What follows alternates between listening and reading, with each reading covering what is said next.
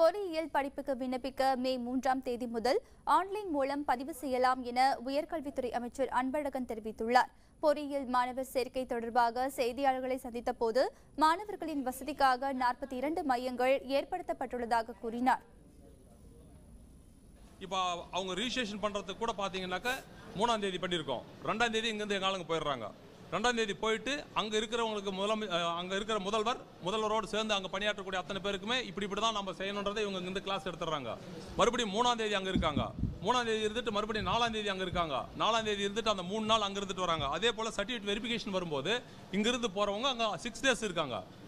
அதுக்கு அடுத்த கட்டமாக நம்ம வந்து அந்த ச- என்னென்ன கோர்ஸ் செலக்ட் பண்ணுறாங்கல்ல அந்த கட்டத்தில் நடைபெறும் போதும் அங்கேயும் போயிட்டு இது அதே நாட்கள் இங்கே இருக்காங்க. இவங்க இருக்கும்போது அங்கே இருக்கிறவங்களுக்கும் ட்ரைனிங் கொடுத்துட்றாங்க. அத்தனைக்கும் மேலாக இப்போ அந்த மாணவர்களுக்கு அங்கே அவ்வளோ தூரம் சொல்கிறது சர்டிஃபிகேட் வெரிஃபிகேஷன் பண்ணும்போது எப்படி எப்படி அவங்க பதிவு பண்ணணும் என்னன்றதையும் அங்கேயே நாங்கள் போட்டு காட்டிட்டு இருக்கோம். அதுக்கு மேலே இப்போ வந்து திடீர்னு இன்னைக்கு வந்து ஒரு முடிவு எடுத்திருக்கிறோம். அவங்க எப்படி எப்படி பதிவு பண்ணணும் என்னென்ன செய்யணும்னு இந்த மாதிரி ஒரு புக்லெட் போட்டு கொடுக்கலான்ற மாதிரி ஒரு முடிவு எடுத்திருக்கோம் முக்கிய நிகழ்வுகளை அறிந்து கொள்ள காவிரி நியூஸ் யூடியூப் சேனலை சப்ஸ்கிரைப் செய்யுங்கள்.